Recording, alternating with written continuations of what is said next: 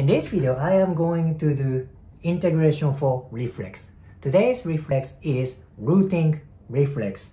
This reflex is common among babies. What kind of reflex is that? So, when you scratch a baby's mouth like this, baby automatically turns head to this way. But this person doesn't have that much reflex, but instead, I want you to focus on how his lips move as I scratch his cheek. Ready? See, his lips automatically contract. See that? This means he is positive for rooting reflex. How about left side? Uh, yeah, that's positive. When this reflex is positive among adults, they, their cheek skin is very sensitive and they tend to scratch their mouth. You know that they people do this kind of habit, right? Plus, if this reflex is positive, their lip muscles and tongue muscle and jaw muscles are hyperactivated. What is problem with that? So they trip over their words. That means when they try to speak fast, they mispronounce it and they trip uh, their words. Okay, that makes sense. So I'm gonna do integration for that. Yep, he is positive.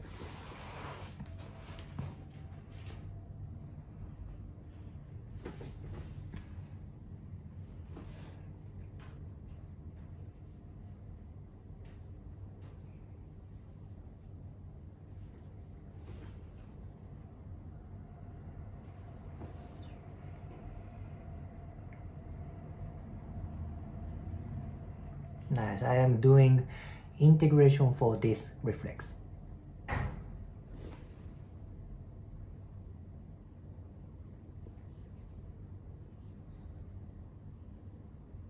Good. Okay, I'm gonna test the reflex again. I'm gonna scratch his lip. Ah, no movement. But little bit contraction. I feel slight contraction on his lip just slight. His automatic movement is gone.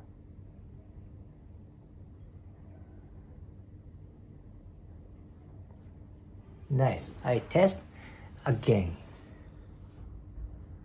No movement. That means his uh, reflex is integrated. Now, again, when this reflex is retained, most likely their cheek skin, cheek muscles, and tongue, jaw muscles are hyperactivated due to this reflex. Then they tend to trip over their words. So if you liked today's video, please hit the like button, comment, and subscribe. See you next video.